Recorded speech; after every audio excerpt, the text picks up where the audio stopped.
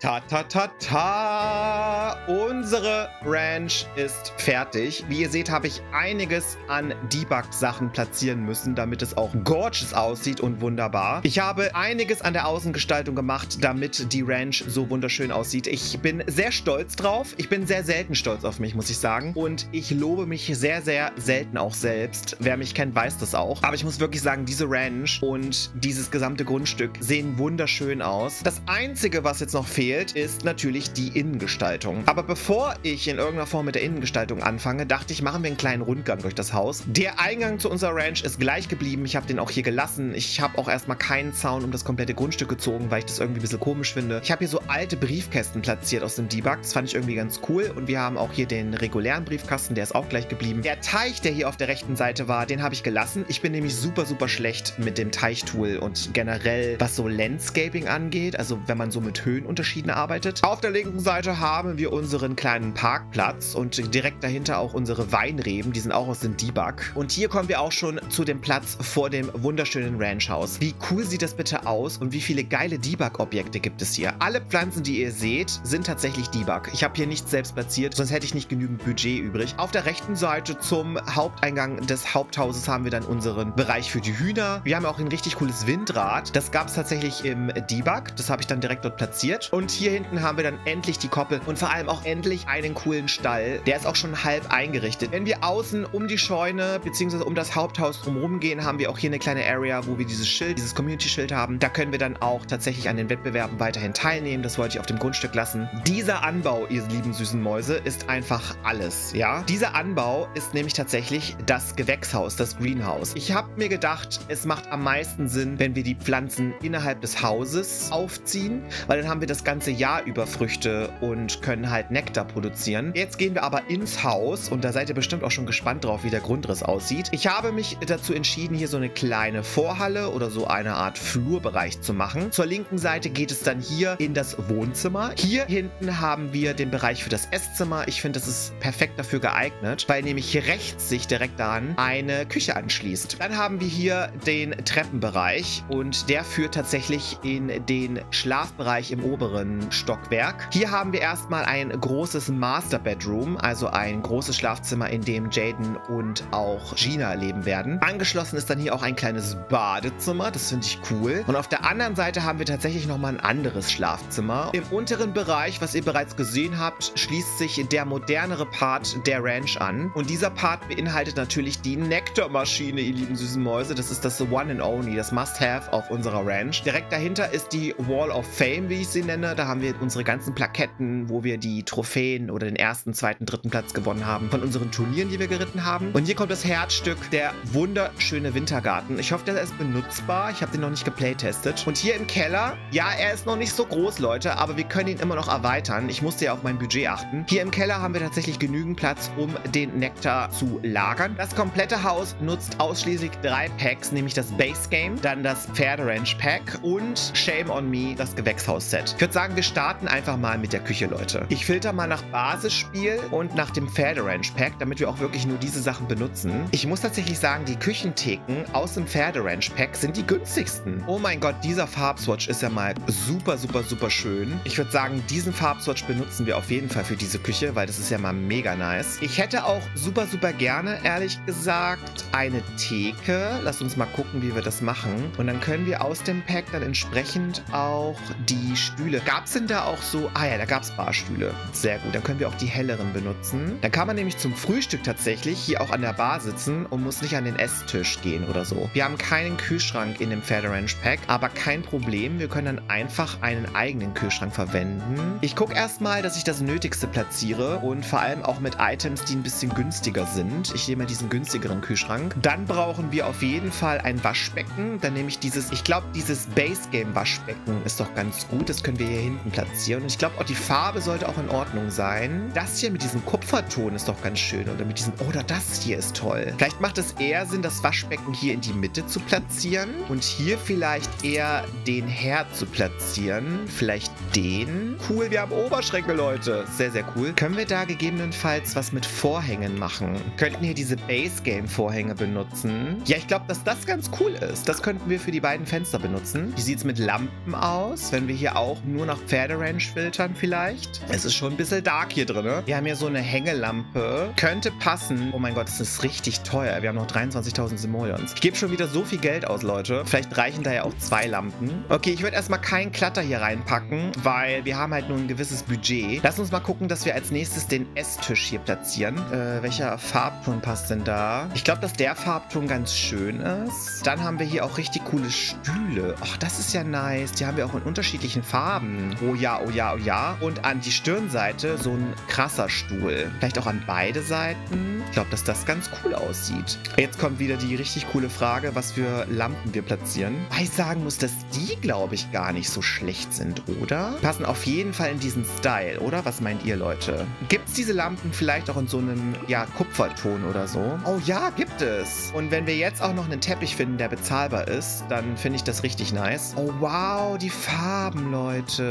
Es ist so schön, ne? Ja, Blauton könnte passen. Bilder, Leute. Wir haben auch Bilder, Leute. Was kostet das? 125. Das geht sogar vom Preis. Ich habe auch nur noch 22.000 Simoleons. Ich hoffe, dass ich den Rest noch einrichten kann. Vielleicht machen wir beim Badezimmer weiter, damit wir die Basics haben. Mich stört so ein bisschen, dass das nur so ein kleiner Miniraum ist. Wir könnten hier eine Wand ziehen und können tatsächlich hier das Badezimmer platzieren. Und auf der anderen Seite vielleicht so eine Art Abstellkammer oder so. Dann brauchen wir aber noch eine Tür, Leute, weil wir hier auf der anderen Seite ja auch noch ein Zimmer haben. Ich lasse das Zimmer erstmal leer. Gehen wir mal weiter ins Wohnzimmer. Das Herz sozusagen unseres Hauses. Ah, ja, cool. Da haben wir doch diese coole Couch hier. Holy moly, das ist ja mal mega schön. Ich glaube, wir haben so ein kleines Thema in diesem Haus mit diesen Blau- oder Türkistönen, ne? Haben wir dann vielleicht noch Platz für einen Sessel? Ja, ich glaube schon, dass das geht. Dann haben wir noch den super coolen Couchtisch. Der passt ja auch richtig, richtig gut rein. Ich glaube, hier passt das Beige sehr, sehr gut. Wir könnten theoretisch auch den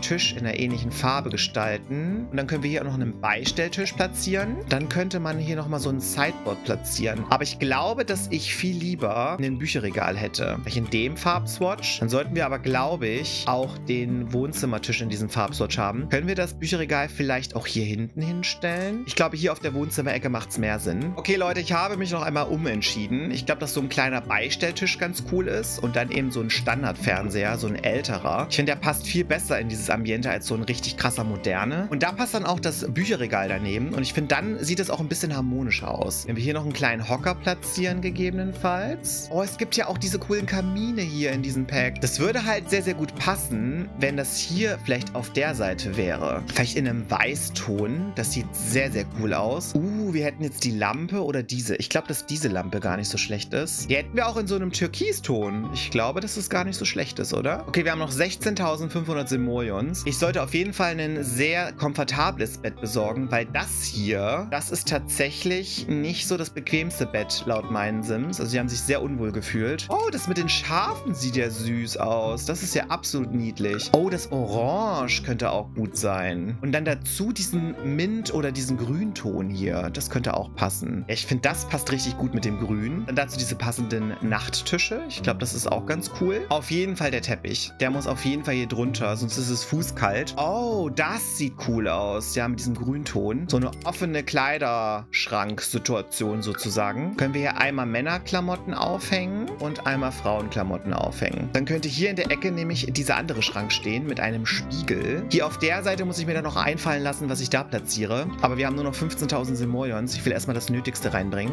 Oh mein Gott, ich brauche, ich brauche, ich brauche, ich brauche mehr Platz, Leute. Ich brauche mehr Platz. Sehr, sehr gut. Und dann brauchen wir hier auf jeden Fall auch nochmal einen Teppich. Vielleicht nehmen wir hier einen aus dem Base Game. Es ist wirklich schwierig, einen passenden Teppich zu finden, ne? Es ist wirklich krass. Ich glaube aber, dass der ganz gut passt, auch in diesem Braunton. Passt der noch irgendwie hier hin? Dann haben die auch Sachen, um das hier zu verstauen. Dann brauche ich noch ein bisschen Klatter. Dann können wir auch noch so ein paar Bademäntel hier aufhängen, glaube ich. So, dann haben wir hier auch noch ein paar Sachen an Klatter platziert. Dann sieht das auch ein bisschen wohnlicher aus. Mir ist klar, dass ich noch nicht überall Pflanzen und so platziert habe. Aber wie vorher schon mal erwähnt, ich versuche das Nötigste gerade zu platzieren. Ich glaube, dass wir die Basics erstmal haben. Wir haben jetzt noch einiges an Budget. Das bedeutet, wir könnten hier tatsächlich auch noch die Grillstelle hier nach außen stellen. Dann haben wir auch so einen Barbecue-Platz. Und da kann die Familie hier auch grillen und hier drinnen auch essen. Ich glaube, das ist ganz gut. Dann können wir die hintere Veranda dafür benutzen. Haben wir vielleicht was, was wir hier noch in den Stall bringen können. Auf jeden Fall die Lampen. Wir haben hier so ein Fass, genau. Hier sowas zum Beispiel. Das ist doch auch ganz cool. So Reizstuff, den wir da aufgehangen haben. Und dann auch noch so Sachen Sachen zum Ausmisten. Passt auch sehr gut, finde ich, in diese Ecke hier rein. Okay, ihr lieben Mäuse, ich glaube, ich habe erstmal das Grundkonzept fertig. Das Schlafzimmer ist wunder wunderschön. Ich habe jetzt erstmal keine Gardinen angebracht, weil ich habe keine Ahnung, was für Gardinen ich anbringen soll. Keine Ahnung, was hier am besten passt. Ich habe hier noch einen Sessel platziert und einen Spiegel und ein paar Blumen. Das Badezimmer hier oben ist auch ready und ist funktional und sieht richtig, richtig nice aus. Wir haben hier oben eine kleine Arbeitsarea und so eine kleine Leseecke. Der Eingangsbereich, da habe ich jetzt noch eine Pflanze platziert und hier auf der anderen Seite nochmal einen Spiegel. Mehr ist mir erstmal nicht eingefallen. Wir haben hier das Wohnzimmer, was auch ready ist. Sieht auch wunder wunderschön aus. Essbereich hier direkt angeschlossen. Wir haben ein kleines Badezimmer und wir haben die Küche, wo wir zugegebenermaßen noch mehr Klatter einbringen können. Das weiß ich. Aber ich habe nur noch 3000 Simoleons und ich will nicht ganz ohne Taschengeld in das Gameplay gehen beim nächsten Mal. Deswegen habe ich mir gedacht, da passt das so am besten. Wir haben hier angeschlossen dann auch die Nectar Area. Die ist auch so fertig, wie sie ist. Da habe ich jetzt nicht viel geändert. Ich habe hier im Gewächshaus die anderen Lampen aufgehangen. Das sollte auch passen. Und im Stall haben wir die anderen Lampen aufgehangen. Hier haben wir noch ein bisschen Klatter platziert, aber im Großen und Ganzen ist das halt gleich geblieben. Ich habe jetzt erstmal nichts weiter platziert, weil im Gameplay wird wahrscheinlich das ein oder andere mir auffallen, was wir dann platzieren können. Ich würde sagen, unsere Rainbow Ranch ist fürs Erste fertig. Wir haben sie fertiggestellt, wir haben sie fertig gebaut. Die unmöblierte Version dieser Ranch, also gebaut mit Base Game, Pferderanch und dem Gewächshaus-Set. Das könnt ihr ab sofort aus meiner Galerie laden. Galerie-ID ist Andy-Paradise. Da könnt ihr das runterladen, könnt es in eurem Spiel platzieren und könnt selber spielen in dieser Ranch, wenn sie euch gefällt. Vielen lieben Dank für die Aufmerksamkeit. Dankeschön, dass ihr euch das Video angesehen habt. Lasst mir bitte ein Like und einen Kommentar unten, vor allem wenn euch die Ranch gefällt, wenn ihr damit spielen wollt oder wenn ihr mir vielleicht auch Feedback geben möchtet, was ich anpassen kann, was ich ändern kann. Vielleicht sagt ihr auch, es fehlt das ein oder andere Objekt, woran ich überhaupt nicht gedacht habe. Dann schreibt mir das, wie gesagt, gerne in die Kommentare und ich freue mich sehr über euer Feedback. Falls noch nicht geschehen, abonniert gerne meinen Kanal. Das ist völlig kostenfrei. Klickt die Glocke, dann werdet ihr informiert, sobald ein neues Video live geht. Wir sehen uns beim nächsten Sims 4 Video wieder. Dankeschön, habt einen wunderschönen Tag. Bis zum nächsten Mal. Bye!